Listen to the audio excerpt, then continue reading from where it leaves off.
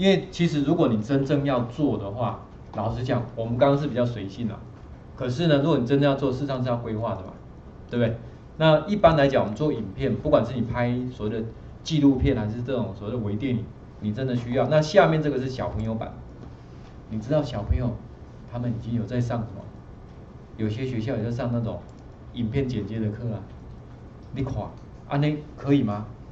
各位大哥哥大姐姐们，南国小是这样在上的，啊，所以嗯，有没有看到？一般其实它还是标准的哦。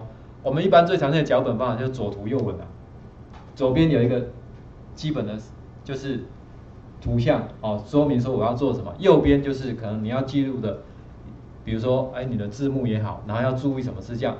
但是呢，很多时候我们会再加一栏，加上什么备注。因为比如说你在录音的时候要注意什么，要注意什么道具要准备什么，会写在那边。然后呢，秒数这个大概要多久的时间？好，我们稍微记录一下。这是小朋友版的，那我们看看大人版。大人版的这个也不算大人，这只是高中国中版，有没有？比较标准，其实会类似像这样子。各位还是比较喜欢小朋友版吧？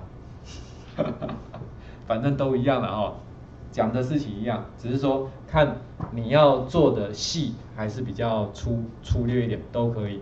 因为真正其实我们在设计的时候，真的有需要这个这样的东西，就好像剧本一样嘛。你先讲好的再做，是不是就比较有依据？软体的操作只是一个什么？你看，当软体越来越简单，你觉得你要做的是什么事情？把内容做好，对不对？如果软体很难，你光在处理这些东西就来不及，内容怎么可能有时间去处理好？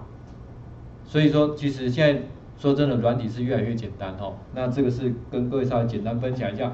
如果你真的有兴趣要认真制作的话，记得脚本最好是写一下哦。